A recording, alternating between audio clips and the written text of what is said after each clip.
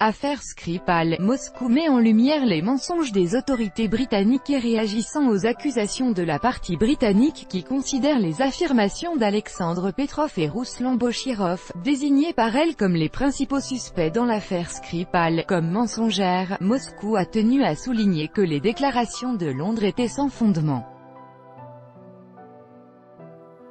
La partie britannique a menti en déclarant que les noms des deux hommes qu'elle a désignés comme suspects de l'affaire Skripal étaient inventés, selon le ministère russe des Affaires étrangères.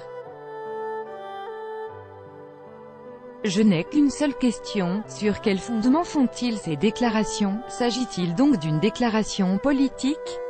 Pourquoi ont-ils dit que c'était un mensonge? Qu'est-ce qui concrètement était un mensonge dans cette déclaration? Après la publication de cette Déclaration par la partie britannique concernant le fait que ces personnes n'existent pas, c'est précisément elle qui s'est avérée être mensonge, a fait savoir jeudi la porte-parole de la diplomatie russe Maria Zakharova lors d'un briefing. Alexandre Petrov et Ruslan Bochirov, soupçonnés par les autorités britanniques d'être impliqués dans l'épisode de Salisbury, ont accordé une interview à la rédactrice en chef de Sputnik et RT, Margarita Simonian. Ils ont affirmé s'être rendus à Salisbury en touriste et n'avoir aucun lien avec le renseignement russe.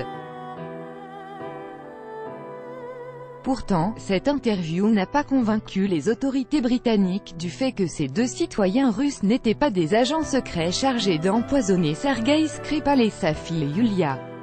Plus tôt, Margarita Simonian avait informé qu'Alexandre Petrov et Ruslan Bochirov, désignés par Londres comme étant les deux principaux suspects de l'affaire Skripal, l'avaient contacté d'eux-mêmes afin de lui accorder une interview. Le 5 septembre dernier, la police britannique a lancé un mandat d'arrêt contre deux ressortissants russes, identifiés comme Alexander Petrov et Ruslan Bochirov, suspectés d'implication dans l'empoisonnement de l'ex-agent double Sergei Skripal et de sa fille Yulia, le 4 mars dernier à Salisbury.